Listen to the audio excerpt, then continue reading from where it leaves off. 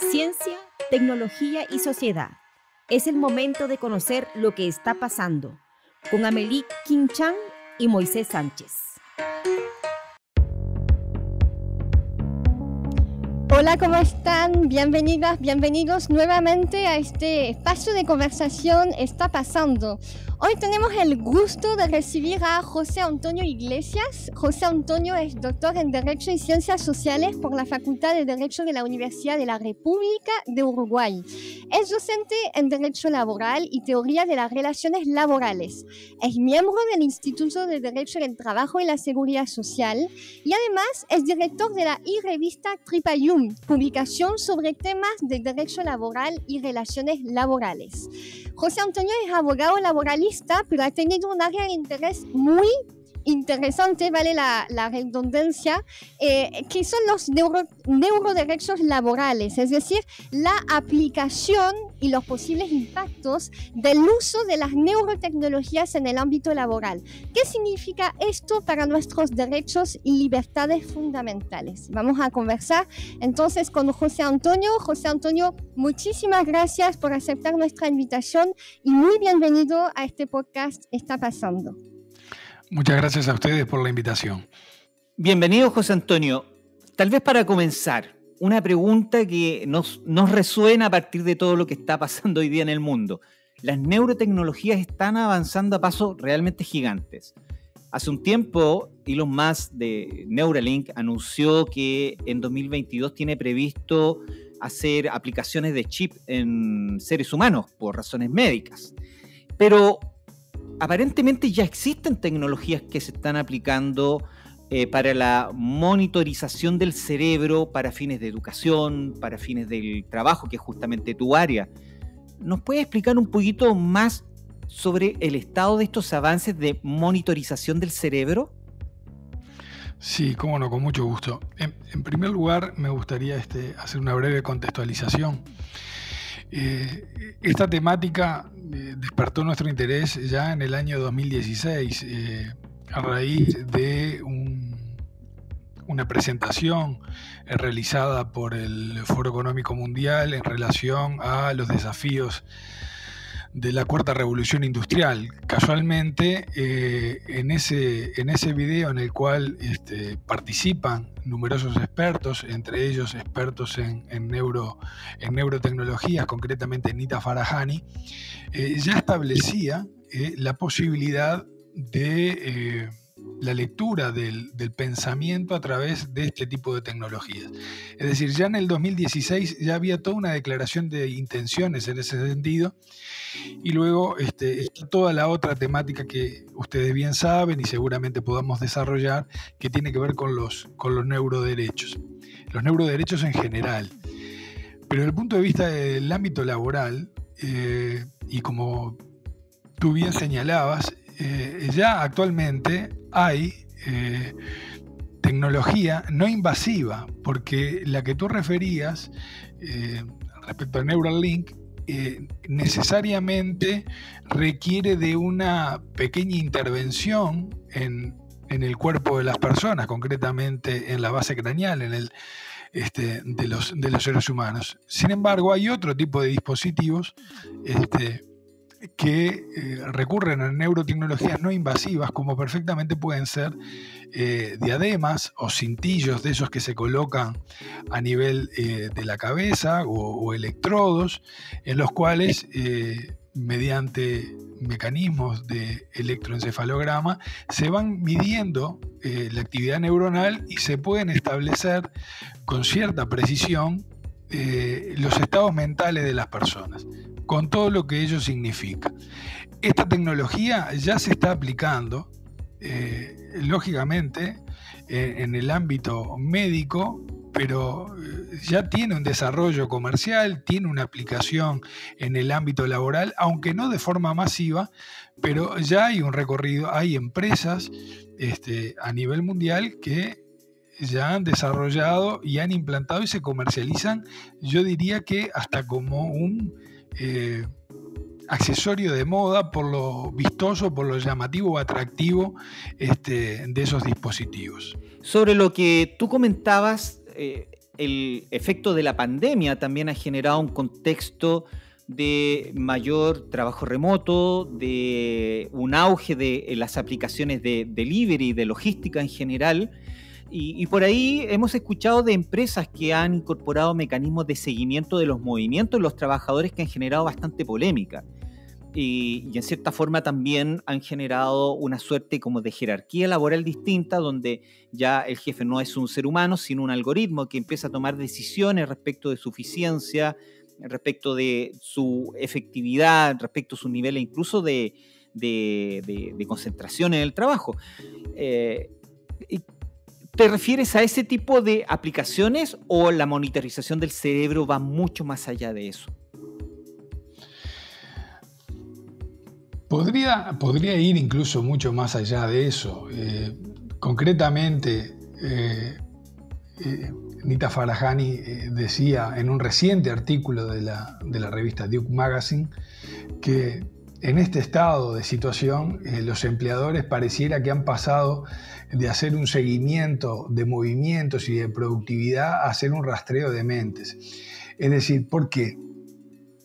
Porque, como tú bien decías, eh, este, este tipo de dispositivos lo que hacen o lo que intentan hacer es medir esa actividad neuronal y entre otros factores eh, que toman en cuenta o, esos datos neuronales que recaban pueden ser perfectamente, y así es, el nivel de estrés de un trabajador, el nivel de concentración. Eh, no todos eh, nos concentramos de la misma manera y en el mismo tiempo, es una obviedad esto que estoy diciendo, pero así sucede. Y eso también permite a los empleadores, lógicamente, tomar determinado tipo de decisiones.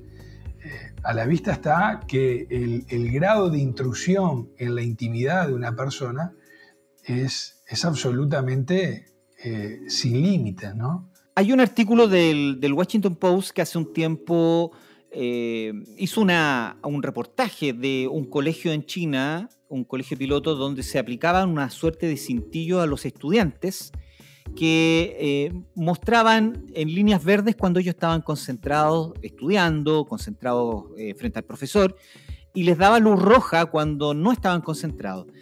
El, tema que, llamaba la atención es que eso generaba un reporte no solamente para los profesores, sino también para los padres. Significa que en el mundo laboral también pueden pasar cosas así, o están pasando ya cosas así. Sin duda, yo no tengo duda que eso está sucediendo en, las empresas que aplican este tipo de tecnologías. Eh, es una manera este, de, seleccionar o de tomar decisiones acerca del personal. Concretamente, eh, eh, tú mencionabas el, ejemplo de China. Evidentemente, estos dispositivos comienzan aplicándose con fines médicos, luego empiezan a esparcirse por otros sectores. Tú mencionabas el de la educación, perfectamente eh, puede ser con fines este, militares y ni que hablar a nivel, a nivel laboral. A nivel laboral hay un ejemplo, en el caso de China, los eh, conductores de los trenes de alta velocidad usan este tipo de cintillos o diademas con como este, estamos eh, conversando, y lo utilizan de forma disimulada dentro del sombrero de su uniforme y hay todo un contralor este, de los datos neuronales durante toda la jornada, durante toda la jornada laboral. Este, e, esta misma tecnología se aplica también en otros sectores de actividad, como pueden ser el transporte. En Australia, por ejemplo, hay empresas que han desarrollado este tipo de tecnología para eh, monitorear eh, el grado de fatiga de los conductores de camiones, es decir, para anticiparse a posibles accidentes, eh, a, posibles sobrecargas de trabajo. ya hay una aplicación, eh, las neurotecnologías ya llegaron, se están aplicando, son una realidad, lo que pasa es que no lo han hecho aún de forma masiva, aún, pero es cuestión de tiempo, nada más. ¿Y tú por qué crees que todavía no se ha masificado si los contextos dicen de que con el auge de la inteligencia artificial, la robótica, la, eh, automatización, esto debiera ser más masivo. O a lo mejor pasa de que esto está siendo discutido a niveles que nosotros no conocemos y eventualmente son tecnologías que pudieran tener aplicación masiva dentro de poco tiempo. ¿Cómo ves tú el escenario ahí? Yo lo que veo es que este tipo de tecnologías eh, en cierta medida se van a ir expandiendo y se van a ir aplicando. Eh, el interés en poner en el centro del debate la pertinencia de hablar de neuroderechos laborales es que evidentemente la función que ocupa el trabajo en la vida de las personas es central. Es una de las razones, no voy a decir la más importante, pero sin duda una de las más importantes. Y estas neurotecnologías van a impactar en ese mundo, sin dudas. Eh, pongo, un, ejemplo. Eh, hace poco, eh, Ignacio Beltrán de Heredia Ruiz, un prestigioso laboralista español, hacía referencia o se preguntaba cómo era posible que la gente consintiera voluntariamente a entregar datos o permitir que se grabaran sus, sus sonidos un tercero. Es decir, un, era impensable eso. Sin embargo, hay muchas personas que tienen dispositivos en sus hogares, como pueden ser Siri o Alexa, grabando ese sonido. Porque de alguna manera eh, se pierde esa sensación de peligro, se pierde esa sensación eh, de la importancia que tiene la privacidad y se empiezan a naturalizar situaciones uso de dispositivos. Y con este tipo de dispositivos de neurotecnologías, en el ámbito laboral va a suceder lo mismo. Lo que sucede es que hay que poner el foco y llamar la atención sobre la importancia y los peligros que puede tener el uso de este tipo de tecnologías. Un ejemplo. Eh, el, principal instrumento normativo eh, de referencia es la Carta de Derechos Digitales de España. ¿Mm? Que curiosamente eh, entiende que no hay necesidad de regular sobre neuroderechos, pero sí ayornarlos, sí actualizarlos. Y eh, ese documento normativo incluye eh, normas en el ámbito laboral y en el uso de neurotecnologías en el ámbito laboral. Con lo cual, es, es, un elemento a tener en cuenta a, nivel, a nivel mundial para ir legislando en ese sentido. Y, tengo que decir que Chile eh, es un ejemplo a nivel mundial y a nivel regional este, en, neuroprotección. Digo, porque ha entendido la importancia que tiene esta temática.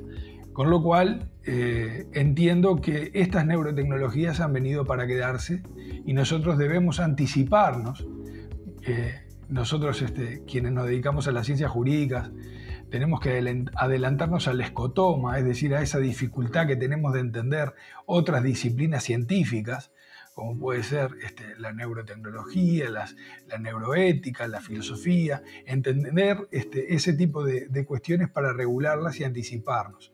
Eh, es una realidad que viene y que nosotros tenemos que estar atentos. José Antonio, vamos a volver al tema de la regulación y de la normativa. Muy interesante los puntos que introdujiste al respecto, eh, la Carta de Derechos Digitales de España, la legislación sobre neuroderechos en Chile. Necesitamos abordar estos temas, pero yo justamente quiero em, llegar primero un poco a la idea del peligro. Tú mencionaste eh, la, la posibilidad de peligros con el uso de las neurotecnologías en el ámbito laboral. ¿Cuáles son esos peligros? José Antonio, porque también tuviste ejemplos, como en Australia, de la posibilidad de que estas neurotecnologías nos permitieran anticipar accidentes en ciertos contextos.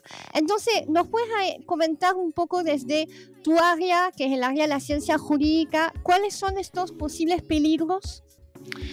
Sí, en, primer lugar, eh, como todas tecnologías, eh, si las mismas son bien usadas, este, tienen un fin loable y estarían éticamente validadas. El, problema es cuando estas neurotecnologías son mal utilizadas o son utilizadas con abuso de derecho.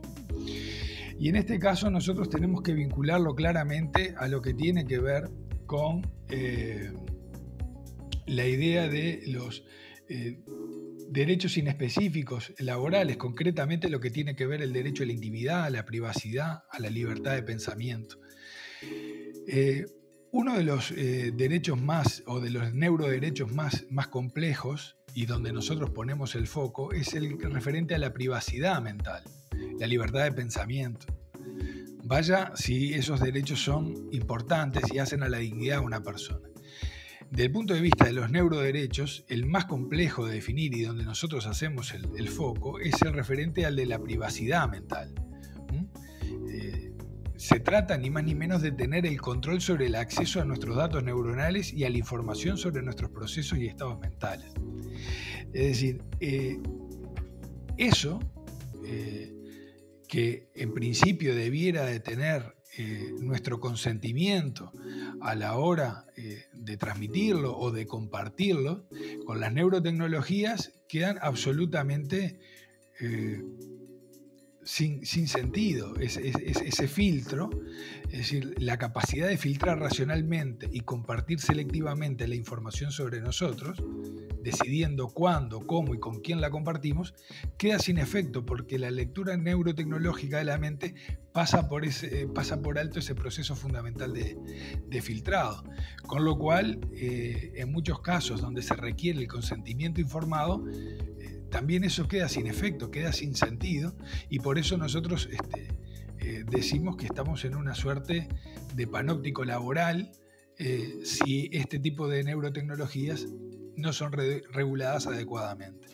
Claro, porque hasta donde yo sé, eh, uno cuando firma su contrato no firma necesariamente una cláusula de consentimiento para el uso de nuestros datos. Entonces, cuando eh, monitorean nuestros datos para, para distintos usos, eh, tenemos que aceptar el paquete completo, no es específicamente los datos, por ejemplo, para monitorear la fatiga de las personas, sino que eventualmente todo este paquete de datos eh, variados puede ser usado eh, para distintas aplicaciones que no necesariamente vienen eh, siempre con buenas intenciones. Eso estoy entendiendo. Es correcto, eso es así. Como decía, este tipo de dispositivos son comercializados y presentados como algo este, novedoso, como algo, si se me permite la, expresión, cool de utilizar, es decir, algo, algo que parece un, este, un complemento eh, de moda, un accesorio de moda. Y después hay otro elemento que tiene que ver con eh, no ya la desinformación de, los trabajadores, este, o de la mayoría de los trabajadores, de los riesgos de este tipo de, tecnologías, sino lo que tiene que ver con la naturalización en el uso de estos dispositivos. Yo mencionaba este, lo que sucedía con dispositivos este, que miden nuestra frecuencia cardíaca, que pueden tener acceso a determinados datos biométricos de una persona, o como el caso de eh, los dispositivos de Amazon o de, Google para eh, eh, escuchar nuestros, nuestros requerimientos en el ámbito, en el ámbito eh, de nuestros hogares. Si se naturaliza el uso de estos dispositivos como algo no nocivo, como algo este, intrascendente, no tenemos muy en claro cuáles son las, las consecuencias. Y un dato más, cuando uno eh, accede a ese tipo de, dispositivos, los datos neuronales que se recogen este, se suben a un banco de datos que no controla el propio trabajador. Entonces, la pregunta es, ¿a dónde van esos datos? ¿Qué uso hacen de esos datos? ¿Cuáles son los impactos? ¿Cuál es eh, la solución de fondo. Lo que sí tengo claro es que no podemos estar como si nada estuviera ocurriendo. Por eso la necesidad de poner un foco bien potente sobre estos temas y llamar la atención. En relación con lo que dices eh, respecto de los usos, eh, eventualmente esto también podría tener un impacto a nivel de discriminación laboral, eh, porque si, si, nos ponemos casi eh, conspirativos, podríamos pensar que la información cerebral y de desempeño que se recopila podría incluso eh, generar bases de datos ranking de rendimiento de trabajadores y tal vez en un futuro capaz que lo pidan en un currículum y eso podría ser muy atentatorio. Tal vez, aquí me acuerdo de la película del libro de Aldous Huxley, El Mundo Feliz, donde habían trabajadores alfa, trabajadores beta, trabajadores gamma, que se dividían según sus capacidades cerebrales. Eh, ¿Cómo ves tú que juegan este tipo de problemáticas con la discriminación que se pudiera dar en el futuro y tal vez hoy? Eh, Moisés, es muy acertado la precisión que tú haces, la observación que tú haces, y, comparto eh, en que esa realidad ya está aquí. Seríamos muy ilusos en, no pensar que el manejo de ese tipo de datos eh, se utilizan. Eh, ya no pensemos para discriminar. Ya no pensemos para discriminar. si, sacamos incluso esas razones espurias a la hora de, hacer una diferenciación. Pero en la etapa previa, por ejemplo, o en la etapa de prueba de un, trabajador, eh, es, perfectamente eh, real, verosímil, que una empresa utilice esos datos para seleccionar qué trabajador continúa y qué trabajador no, o qué trabajador va a desarrollar tal o cual tarea, o qué remuneración se le dará, o qué eh, sanción disciplinaria se podrá o no, o no aplicar. Eh, porque el, acceso a esos datos, a esos este, datos neuronales, a esos estados mentales, eh, evidentemente se van a utilizar para tomar decisiones, como hoy se toman con otros datos que, bueno, que quizás no tienen el impacto que tienen estos.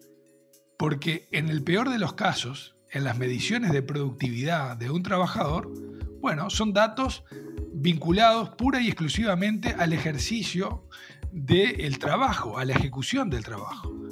Pero en los datos este, neuronales entran otras cuestiones, que pueden ser de trabajo, pueden ser cuestiones absolutamente íntimas, cuestiones absolutamente eh, en las cuales uno no tenga el deseo o la intención de compartir y sin embargo van a tener acceso. Y sin embargo van a tener acceso a esos datos. Bueno, existen muchas polémicas hoy en día con los mecanismos de selección desde ya, que eh, en muchos países se hacen mediante sistemas automatizados que generan sesgos. Ya Amazon tuvo problemas en alguna época eh, con su selección de personal, porque dado el algoritmo que utilizaban, terminaba beneficiando a hombres y no a mujeres, por ejemplo, que ese es un impacto en el mundo laboral. Pero aquí estamos hablando de algo que va mucho más allá, no solo monitorear los desplazamientos de los trabajadores, sino monitorear la intimidad de lo que están pensando minuto a minuto. Y dentro de eso preocupa, por ejemplo, y aquí me quiero eh, detener un segundo, esto de que esta información pase a las bases de datos centrales de no necesariamente la empresa, puede ser las compañías que venden estos dispositivos. ¿Qué se hace después con esa información? Eh, eso representa un riesgo no solamente desde el punto de vista de la relación trabajador-empleador, eh, empleador, sino también a nivel global. Va a haber un montón de información del mundo del trabajo disponible. ¿Existen mecanismos de seguridad para eso? La pregunta eh, también me la puedo hacer yo porque con total honestidad, uno no sabe a dónde van esos datos, quién procesa esos datos. No se sabe. Por lo menos eh, en, lo que me es este, personal, yo no sé a dónde van esos datos. Pero sí es muy importante lo que tú mencionabas respecto al tema de los sesgos, porque aquí incluso es el riesgo es aún mayor, porque van a poder acceder, hay tecnología que se está desarrollando eh, que va a poder acceder a información de cada uno de nosotros, aún antes de que nosotros seamos conscientes de querer compartirla. Es decir, en un estadio anterior ya van a poder saber, por ejemplo, este, y así se, este, se manejan los informes, eh, la orientación sexual de las personas, el, pensamiento sobre determinados gustos o determinadas aficiones. ese tipo de cuestiones, ese tipo de datos van a ser utilizados. Y vaya si eso viola nuestra más absoluta privacidad. El estadio de la privacidad mental es, el último bastión. Yo he eh, consultado con, este, reputados este, neurobiólogos sobre la posibilidad de la lectura del pensamiento, no ya de los datos neuronales, del pensamiento. Y bueno, eh, en algún momento se va a llegar, hoy ya se puede descifrar eh, palabras, se pueden descifrar en algunos casos este, frases a nivel, a nivel mental. Eh, la ciencia no para, la ciencia sigue adelante y sigue. Yo escuchaba con mucha atención la, la, intervención de, de Chiara Saracchini eh, acerca del hackeo al cerebro, en esa pregunta, en ese episodio eh, de qué está pasando, y era muy interesante. Y si ustedes repasan, eh, en ningún momento ella dice, la ciencia va a llegar hasta aquí. No, no, la ciencia va a seguir.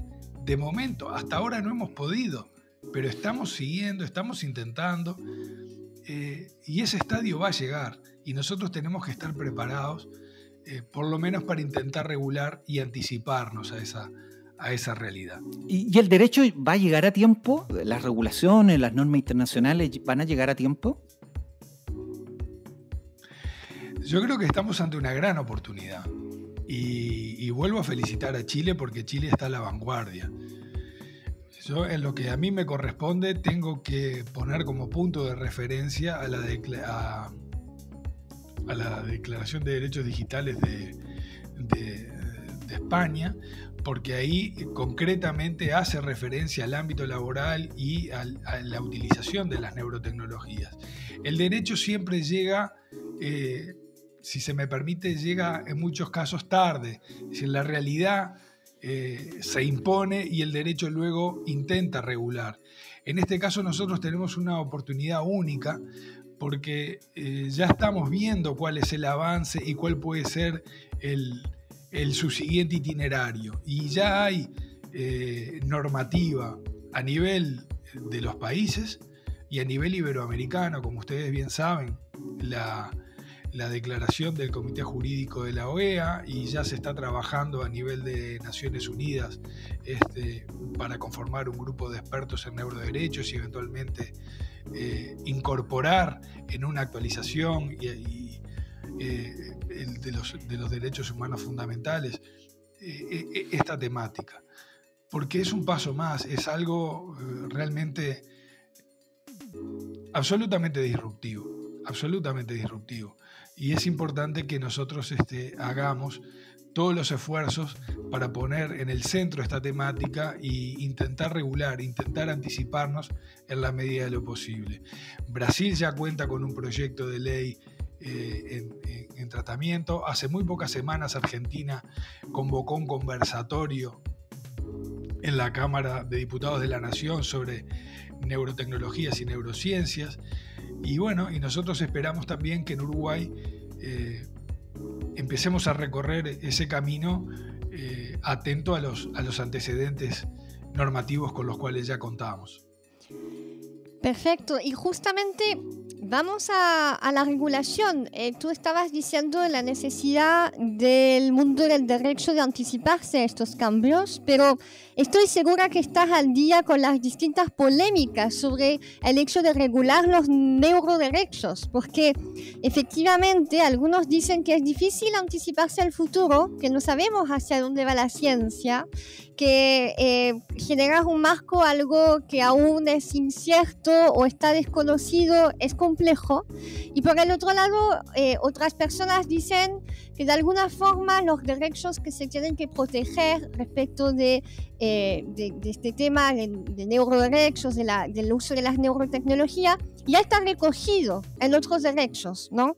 Entonces, a mí me interesaría mucho que nos cuentes un poco más sobre ¿Por qué es tan difícil eh, regular sobre estos asuntos?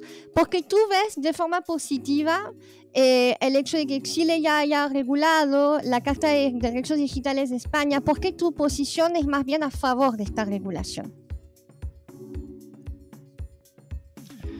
Bien, mi posición es a favor por lo siguiente.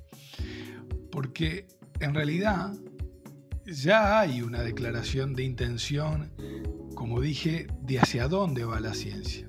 Vuelvo a reiterar, en el año 2016, en ese eh, video que se hacía referencia a la cuarta revolución industrial, eh, Nita Farahani decía lo siguiente, una vez que tengamos acceso a los pensamientos y a las emociones, debemos crear un espacio donde la gente pueda pensar libremente, tener pensamientos divergentes y creativos. Esa es toda una declaración de intención. Esto fue en 2016. En 2017, los neuroeticistas Marcelo Ienca y Roberto Andorno proponen reayornar estos nuevos, este, los, derechos humanos, hablando de neuroderechos y proponen cuatro neuroderechos este, que ustedes ya bien conocen. En 2018 es el neurobiólogo Rafael Juste, eh, con la iniciativa de los NeuroRights, que propone la necesidad de legislar sobre neuroderechos proponiendo cinco neuroderechos. Eh, la ciencia ya marcó el camino y sigue. Desde el 2016 a la fecha ya tenemos evidencia más que suficiente de por dónde eh, van, digamos, eh, esos, esos, dispositivos que tienen como finalidad conocer aún más el funcionamiento del cerebro y acceder a cómo nosotros pensamos y cuáles son esos datos. Nosotros decimos que es necesario legislar porque los neuroderechos laborales van a estar compuestos por todas aquellas normas y principios que el derecho laboral deberá necesariamente crear para proteger a los trabajadores en la aplicación de neurotecnologías en el ámbito laboral. Eh, esta necesidad de acompasar el desarrollo de las neurotecnologías con un desarrollo jurídico que anticipe y regule los eventuales impactos en la vida de las personas y concretamente en la vida de las personas dentro del ámbito laboral es lo que deberán regular los neuroderechos laborales.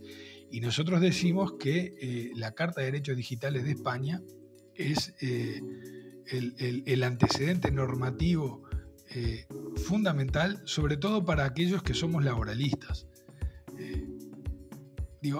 haciendo esta salvedad, es la, propia carta que a diferencia de eh, Marcelo Yenca, Roberto Andorno, eh, Rafael Juste, como ya fue dicho, entiende que no habría que eh, crear nuevos neuroderechos, que no hay necesidad, pero sin embargo este, regula estos ámbitos. Nosotros creemos que sí, que es necesario crear estos nuevos neuroderechos porque también es una manera eh, de, impactar en, la mayoría de las personas, en la inmensa mayoría de las personas que desconocen esta problemática y esta temática.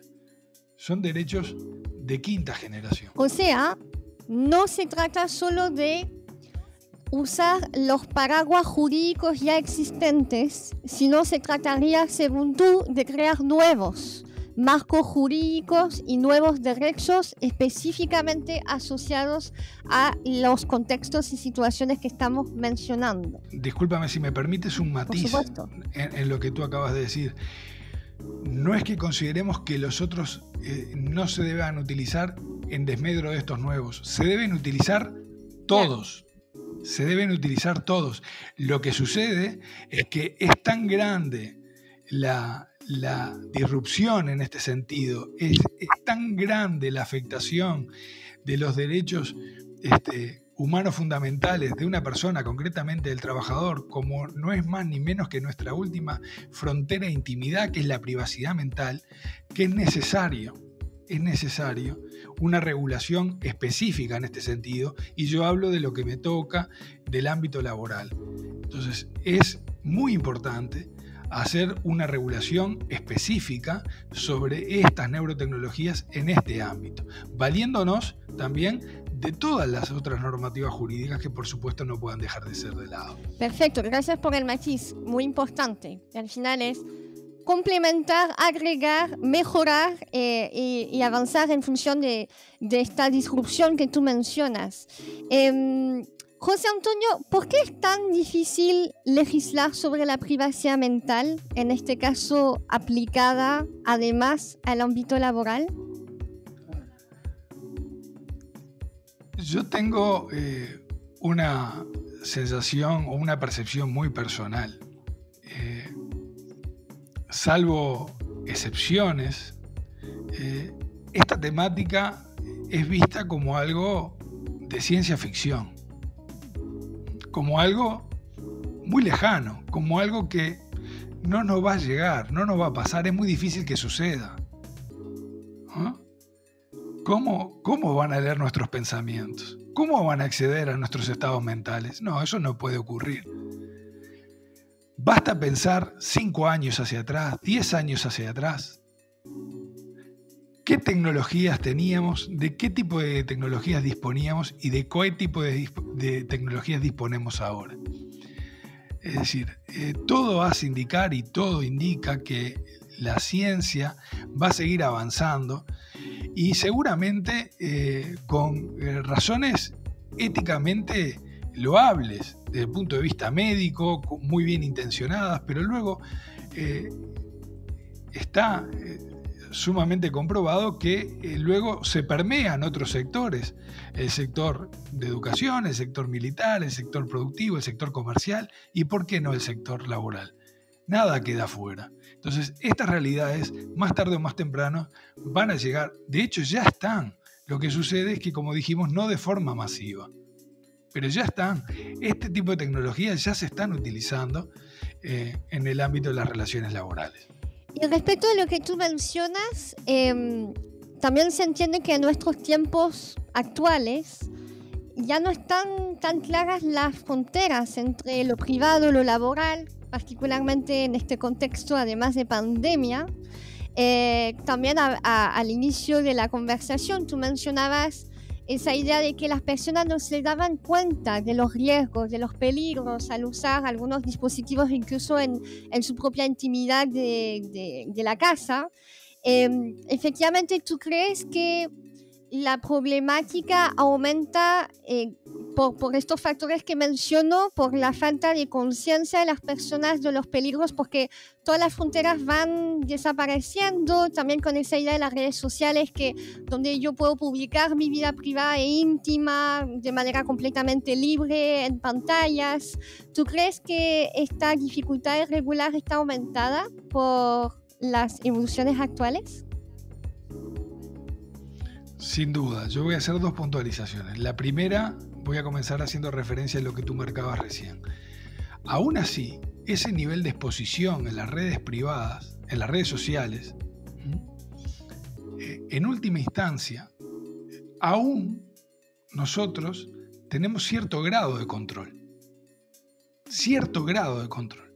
Por lo menos en el momento de compartir. Luego, no sabemos lo que sucede, pero digo, hasta ahí, hasta podemos controlar. El tema es que estas eh, neurotecnologías van un paso más allá y no requieren ni siquiera de nuestro consentimiento. Incluso quizás ni seamos conscientes de la información que estamos compartiendo. Porque estas neurotecnologías se saltan ese filtro.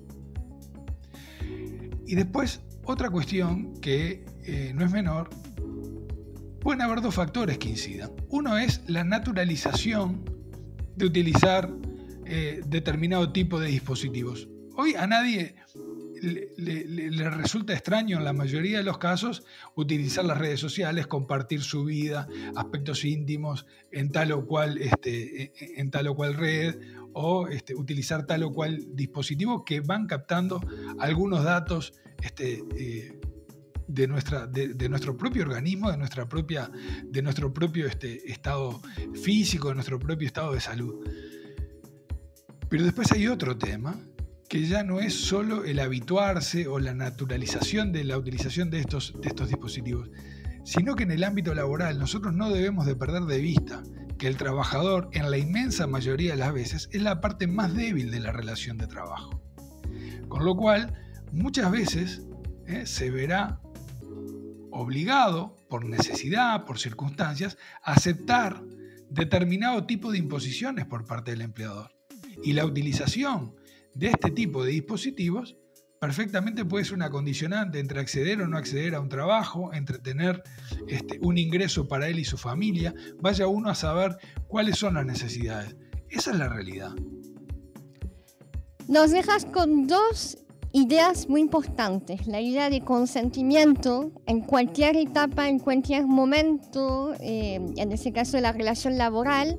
Y también la idea de falta de transparencia, que es una gran problemática con estos desarrollos tecnológicos y científicos.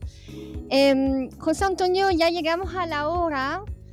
Te queremos agradecer muchísimo por tus aportes, por tu visión tu visión un poco alarmista y muy interesante desde esa perspectiva, porque hay que poner estos temas en la mesa y, ser conscientes de los riesgos asociados a estas evoluciones Estamos muy contentos de haber podido conversar contigo y que nos hayas también iluminado sobre estos puntos de atención en un ámbito todavía un poquito mm, difuso, que es el ámbito laboral en relación al uso de las neurotecnologías. Así que muchísimas gracias, José Antonio, por, tu participación, por aceptar nuestra invitación y hasta la próxima. Muchas gracias a ustedes, Evelyn, Moisés, Luis. Nada, Amelie, muchas gracias por la, por la invitación y por la oportunidad de, de esta charla tan amena.